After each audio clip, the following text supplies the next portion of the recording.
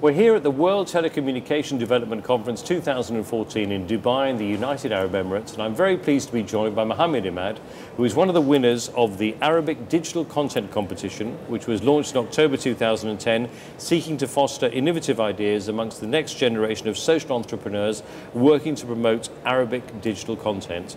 Mohamed, thank you very much for being with us today. Thanks for having me. I'd like to start off by asking you about your project. Uh, your project's called Shockly. It's uh, an online marketplace for digital products. Tell us a little bit about uh, what, what it does and what it's about.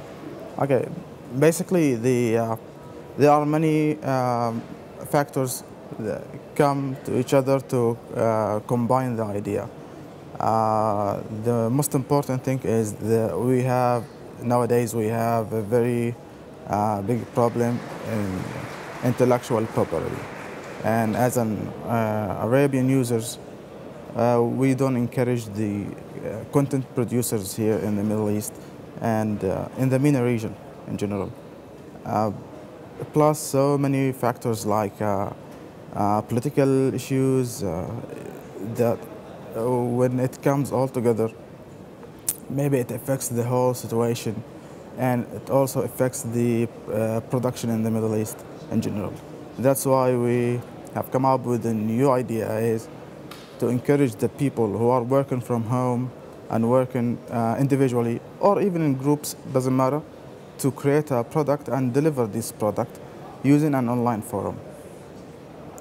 Uh, the platform that we are, uh, the platform that we content now, uh, the platform that we have created now which actually enables the user to deliver, uh, to create first, deliver uh, and earn using uh, uh single platform and that platform is available on tablet, PCs or even mobile devices.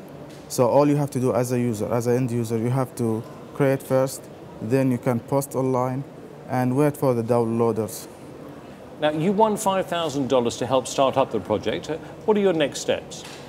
The next step now is to uh, go to the uh, content producers in the Middle East and try to find these uh, producers and build like a relationships uh, with them. Uh, now we are negotiating with some uh, big names in mobile technologies to build a partnership with, with Samsung or any other content producers to submit their works using Shockly.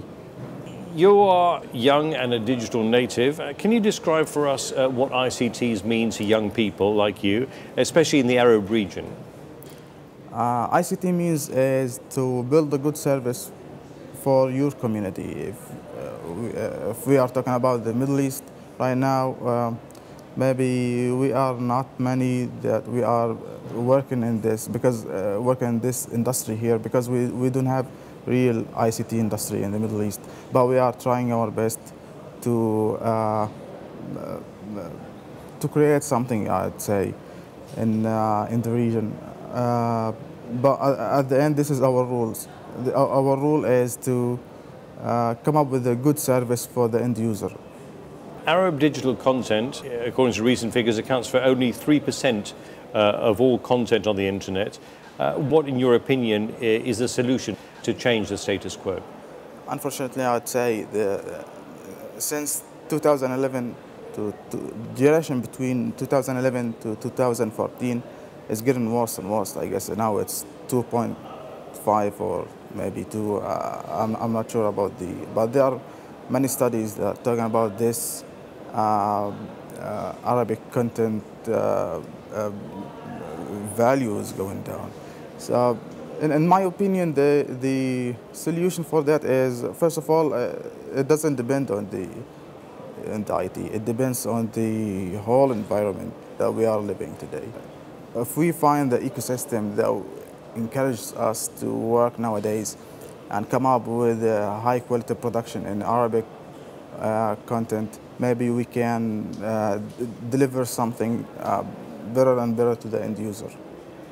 Well, I wish you the very best of luck with your project, uh, Mohamed, and thank you very much indeed for being with us today. Thanks. Thanks for having me. And thank you very much for being with us too.